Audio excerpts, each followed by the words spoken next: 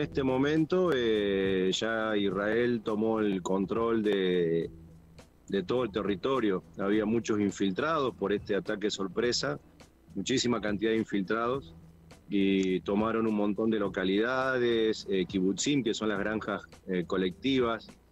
Bueno, tengo una idea como el tamaño de una granja colectiva, podría decirse que el tamaño de Montefiore. ¿sí? Ahí adentro tenés eh, jardín de infantes, tenés primeros auxilios, pileta de natación, tenés toda la vida normal ahí adentro como si fuera un barrio privado. Bueno, a todos esos lugares agarraron 30, 40 de todo eso.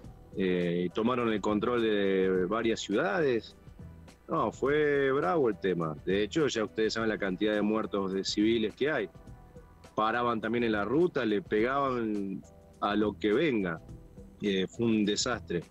Bueno, ahora ya más o menos ya tomaron el, el, ejército tomó el control eh, dentro del territorio, que es la primera etapa. Ahora la segunda es eh, contraatacar, pero ver también el tema de los eh, secuestrados. Hay muchísima gente secuestrada, entonces hay mucha presión adentro del país, te imaginarás, de, de los familiares de, las víctimas. Eh, no puede hacer un ataque masivo eh, sabiendo que tenés ciento y pico de personas que no sabes si están vivas o no.